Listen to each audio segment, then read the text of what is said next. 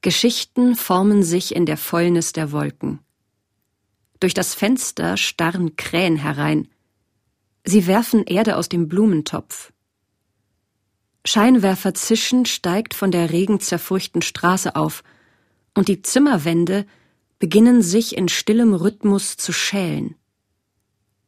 Im Angesicht der Krähenblicke bilde ich mir ein, dass mit jeder Geschichte irgendwo eine Schale rissig wird und etwas Zerzaustes entschlüpft. Dass Zimmerwände sich von Brüchen durchzogen ausdehnen, wölben und unvermeidlich aufplatzen, um den Denkenden zu einer neuen Stufe innerhalb einer weiteren Eierschale zu heben. Als schaumige Blasen hängen die Geschichten an der Innenwand meines Schädels. Dort entstehen sie, wachsen heran, reifen und gleiten mit einem dumpfen Plopp wie mehliges Fallobst zu Boden. Sisa Baby sinkt in ihrem Kinderbett. Aus ihrem Mund wachsen gläserne Regenbogenfäden und ihre Eltern weben silberne Blumen daraus. Es sind liebende Eltern, die sich Tag und Nacht um sie kümmern, sie ernähren und sanft berühren. Schmatzend schlürft das Baby seine Milch im Arm der Mutter. Es schluckt und schnauft und stößt ein lustvolles Stöhnen aus, das Schmerz oder Wut auszudrücken scheint. Dabei lallt es unverständliche Worte und windet sich vor Genuss. Danach bin ich eingeschlafen und wieder aufgewacht. Ein Morgen hängt im Staub des Fensterrahmens wie fahle Girlanden, und ich befinde mich auf dem Weg zum Berliner Flughafen. In meinem Gehirn zerschmilzt eine Chemikalie, verändert die wahrgenommene Welt, ihr Licht, ihre trübe Konsistenz. Die Silhouetten der Vogelkörper vor dem eisblauen Himmel glühen heller. Plötzlich kann ich durch die windige Seide des Morgens rennen, zwischen Autos und Lastwagen hindurchschlüpfen, um den Bus zu erwischen, und lächeln, an solchen Tagen, an denen ich daran glaube, der Käpt'n meiner Seele zu sein.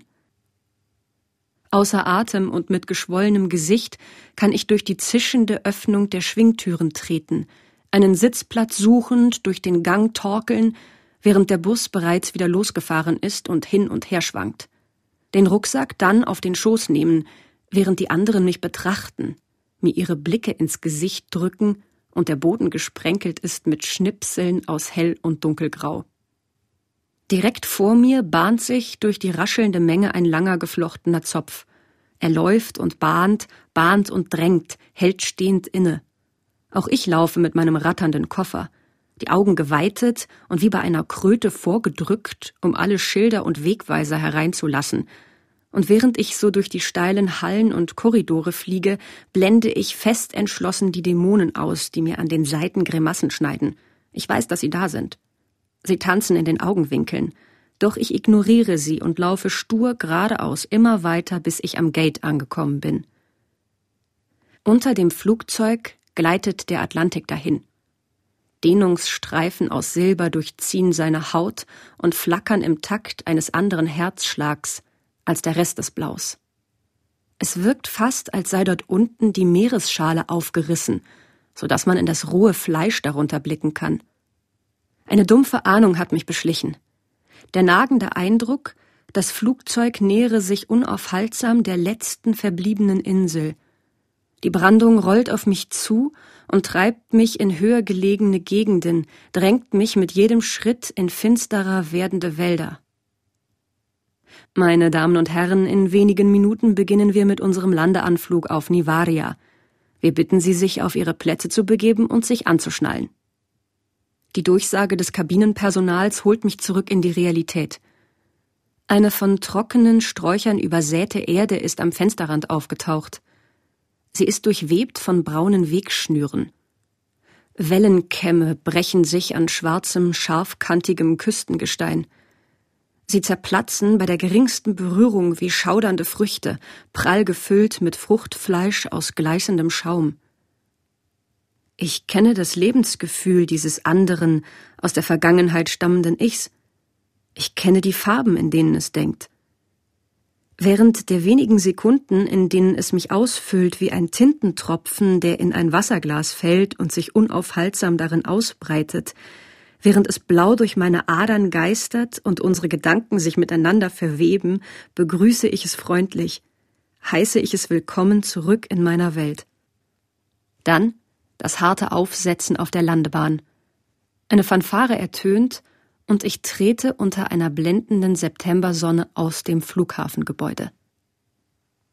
Die Fahrt mit dem Guagua dauert eine gute Stunde. Bringt mich vom südlichen Teil der Insel entlang der schroffen Ostküste hinauf in den Norden. Eine Reihe weiter seufzt ein Touristenpärchen über die sich zu lange hinziehende Fahrt. Die beiden sprechen miteinander, wohl um Pausen, die wie Gewitterwolken heraufziehen, zu füllen, um Lücken des Gefühls zu schließen und Lichtungen in der Konversation zu bepflanzen, offenbar nicht in der Absicht, sich das Ausgesprochene mitzuteilen. Derweil ziehen staubige Schluchten und Ebenen vorüber, mit ihnen Bananenplantagen und landwirtschaftlicher Terrassenbau. Vor Urzeiten ist der Archipel einem unter Erdplatten verborgenen Magmaherd entstiegen. Er bäumte sich auf und türmte Schichten aus geschmolzenem und wieder erkaltetem Gestein auf, bis er die Oberfläche des Ozeans durchbrach und bald hoch und mächtig über sie hinausragte. Es kommt mir unwirklich vor, dass ich an der Universitat de la Corallina studieren werde. Auf dem größten von acht Vulkaneilanden, wie erfunden, weit ab von jeder Festlandküste und umgeben von tosendem schwarzem Wasser. Es klingt fast wie eine weitere Geschichte gegen das Verschwinden. Mein weit geöffneter Blick bleibt an flatterndem Mumienstoff hängen, der Gewächshäuser mit im Verborgenen gedeihenden Pflanzen verhüllt.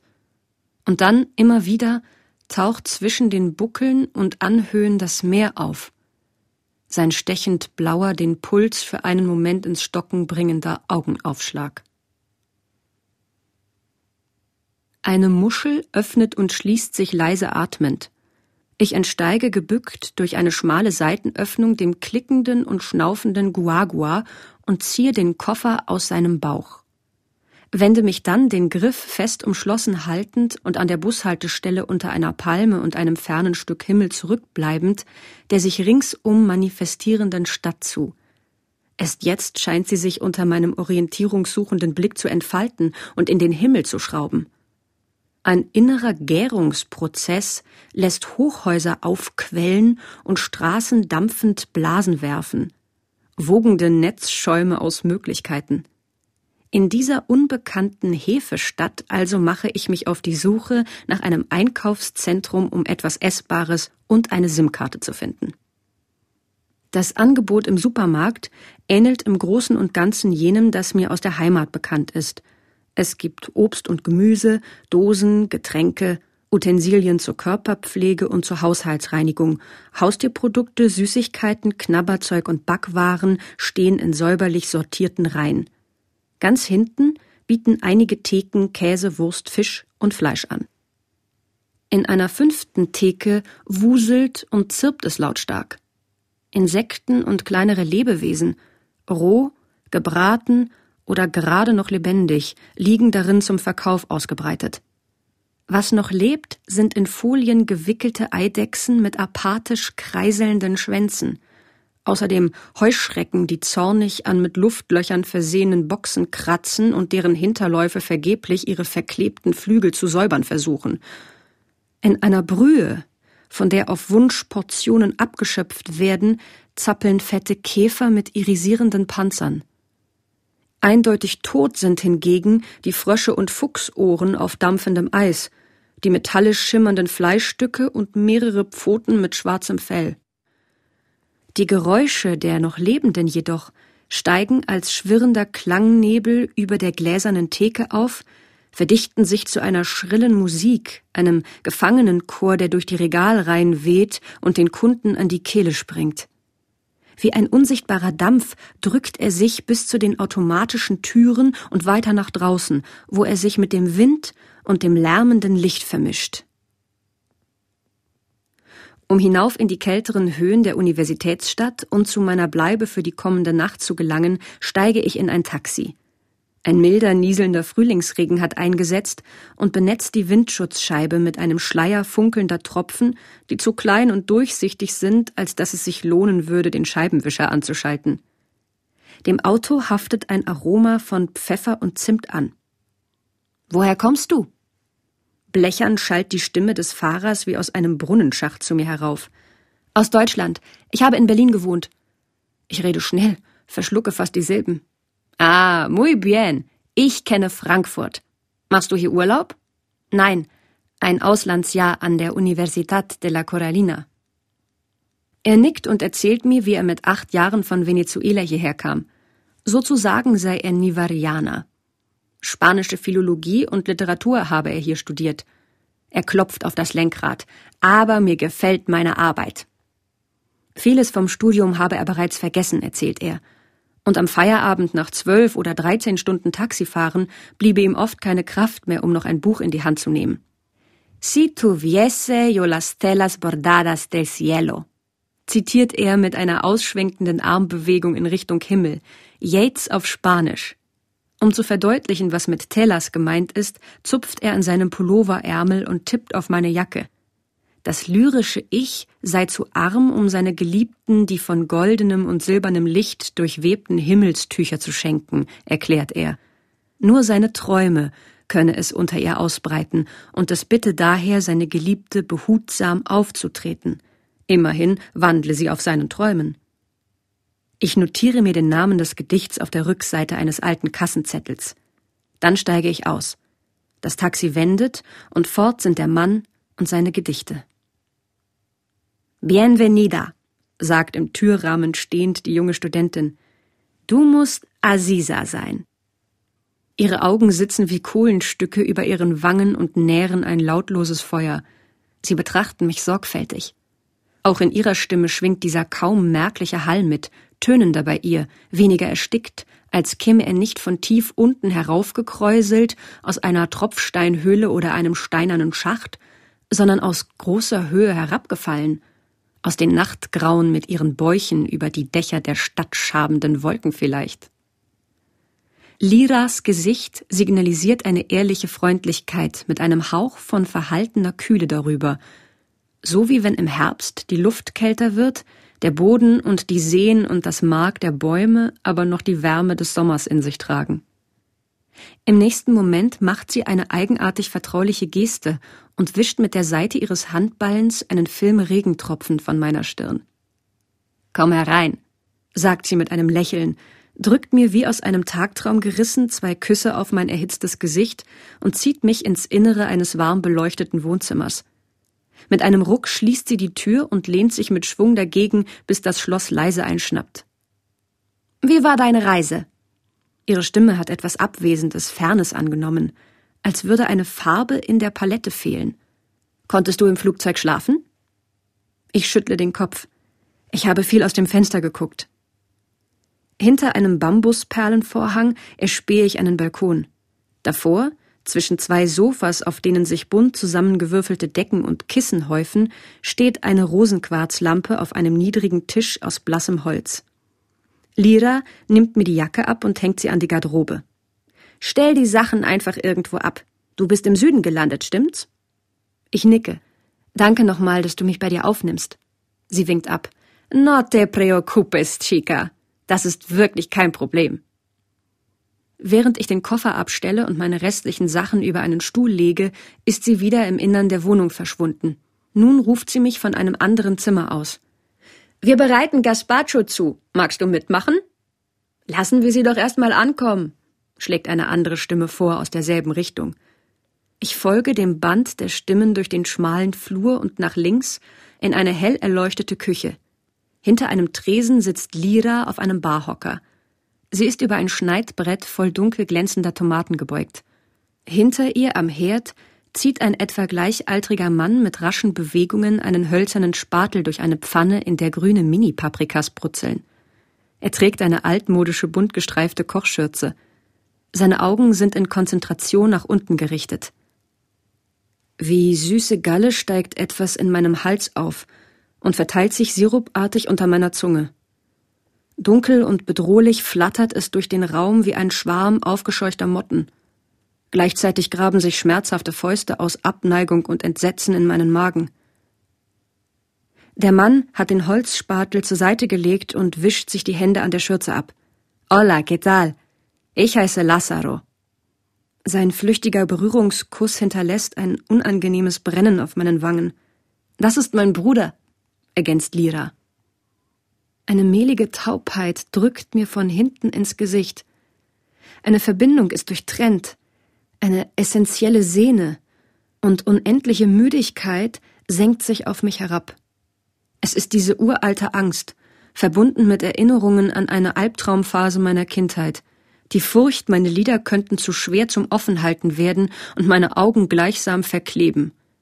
Die wilde Befürchtung, hier und jetzt mitten im Gespräch vor Erschöpfung zu erblinden. Das Perlmut von Lazarus Augen jedoch bleibt geschmolzen und offen, durchgehend. Es driftet nicht ab, es erkaltet nicht. Wir haben hier Tomaten, Gurken, Paprika, was noch? Äh, Knoblauch und ein paar Zwiebeln. Es muss alles püriert werden. Lira drückt mir einen Stabmixer in die Hand. Noch immer flüstert das Perlmutt an den Rändern meiner Wahrnehmung. Später, später in der Nacht, wenn ich allein bin, wird das Chaos ungestört hinter meinen geschlossenen Lidern hervorquellen, wird eine Flüssigkeit so schwarz wie Teer aus einem Paar schlafender Augen treten. In dem schmalen, hohen Gefäß verwandeln sich die Zutaten in rotgrünen Brei. Wir schneiden das restliche Gemüse klein und naschen von den öligen und mit grobem Salz bestreuten Schoten. Lazaro schmeckt die Suppe mit Salz, Pfeffer und Chili ab und verziert sie mit goldbraun gebratenen Croutons und Gemüsestücken. Während wir gegessen haben, ist die Außentemperatur drastisch gesunken. Lira befüllt zwei Wärmflaschen mit kochendem Wasser und reicht mir eine, damit ich meine Füße wärmen kann. Um meine Schultern legt sie eine Wolldecke, und Lazaro rückt den orange glühenden Heizstrahler in meine Nähe. Vor der Balkontür, in der sich die Rosenquarzlampe spiegelt, wirbeln jetzt Schneeflocken. Tut mir leid, die Häuser hier haben keine Heizung, sagt Lira und schiebt die Wärmflasche unter ihren Wollpullover. Wie ist es möglich, dass es schneit? frage ich. Heute Mittag war es noch so heiß. Mikroklima, erwidert sie achselzuckend und wirft ihrem Bruder einen ratlosen Blick zu. Wir räumen ab und spülen die Teller. Beim Zähneputzen fallen mir die Augen zu, und es gelingt mir gerade noch, mich schwankend auszuziehen und in die Jogginghose und ein weites T-Shirt zu schlüpfen. Nur ein leichtes Prickeln in den tiefer liegenden Hautschichten meiner Wangen ist noch spürbar. Das Fauchen des Inselwindes beschwört die Stürme der Vergangenheit herauf. Während ich mich in dem fremden Bett einrichte, verwandelt es sich in das Heulen vor den Fensterläden meines Kinderzimmers, in das Kratzen der Fichtenzweige gegen die Hauswand bei Nacht und das stumpfsinnige Klagen des Käuzchens in den Wipfeln der großen Tannen. Ich bin schon halb eingeschlafen, als mein Körper erneut wie ein Geysir in die Höhe drängt und mir das dringende Bedürfnis vermittelt, aufzustehen und ans Fenster zu treten. Ich schlage die Decke zurück und schiebe meinen Körper an den Rand der Matratze. Meine Füße schrecken vor der Kälte des Bodens zurück, sie schnappt nach meinen Zehen. Dann aber tragen sie mich sanft zum Fenster. Mit jeder Zelle nehme ich nun das Gewicht der Wohnungen wahr, den Tonnendruck ihrer Zementplatten und der Möbelstücke und Menschen, die sich über meinem Kopf stapeln. In meinem milchigen Blick spiegelt sich die vor Kälte schwarz und weiß verdichtete schneewirbelnde Mitternacht. Ein Gespenst aus Rauch und Wind und Eis und Stille. Lange Zeit sind das Wippen der schneeverkrusteten Palmen und das Schaudern ihrer Ananaskörper entlang der ausgestorbenen Allee die einzige Bewegung – da entdecken meine blinzelnden Augen die Karawane. Stumm aus westlicher Richtung nähert sich ein Dutzend grauer Silhouetten. Im Schatten der knirschenden Dattelpalmen und mit gleichmäßigen Schritten durchschreiten sie die Straße, einige von ihnen in lange Gewänder gehüllt, mit denen sie Furchen durch den Neuschnee ziehen, andere in gewöhnlichen Anoraks und modernen Winterjacken steckend. In ihren Haaren und auf den Mützen über ihren gesenkten Köpfen zappeln Schneeflocken. Das Blut in meiner Halsschlagader hat im Rhythmus der Stimmen von der anderen Seite der Erde zu singen begonnen. Rückwärts lasse ich mich ins Bett fallen und verschließe mit der Decke Hals, Augen und Ohren. Nur ein Schlitz zum Atmen soll offen bleiben. Eine bedrohliche Energie ist in das Zimmer eingedrungen. Als ich die Decke wieder ein wenig anhebe, bemerke ich an der gegenüberliegenden Seite des Zimmers auf dem Boden vor dem Kleiderschrank eine ungewöhnliche Tiefe im Schatten des Stuhls. Da ist eine Schwärze, dunkler als die Abwesenheit von Licht. und während ich das Loch länger und länger betrachte, macht sich darin ein klaffendes, von einem zuckenden Kreis umgebenes Auge zu schaffen, das mir langsam, quälend langsam, seinen wimpernlosen Blick zuwendet.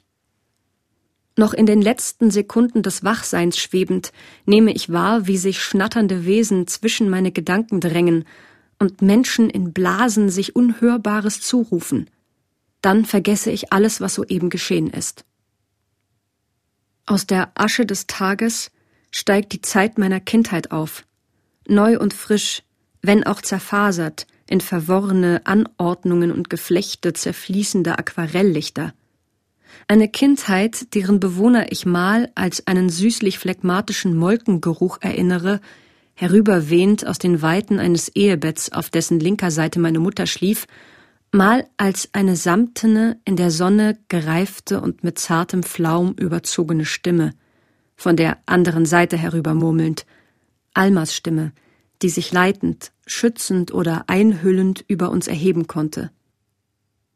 Nicht zuletzt besteht die visuelle Spur, die eine ihrer zentralsten Figuren in mir hinterlassen hat, in einigen rautenförmigen Hautzellen auf einer bleichen Kinderhand, die meiner Schwester Jaela, Baby Moon, gehörte. Es ist sonderbar, aber eher denke ich an Personen aus der Vergangenheit auf diese Weise als in ihrer eigentlichen menschlichen Form.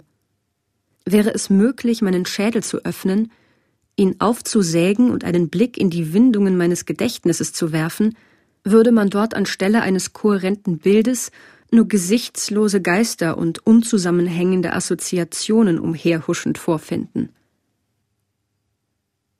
Greifbarer als meine Erinnerungen an die Menschen erscheinen mir jene an die Orte meiner Kindheit. Unser Haus stand auf einer buckligen, von Eiben und Vogelbeeren bewachsenen Anhöhe. Ringsherum wucherte die Wildnis. Es gab ein kleines Meer von der Größe eines Schulteichs, mit Salzfröschen, Molchen und Blasen schleimigen Laichs.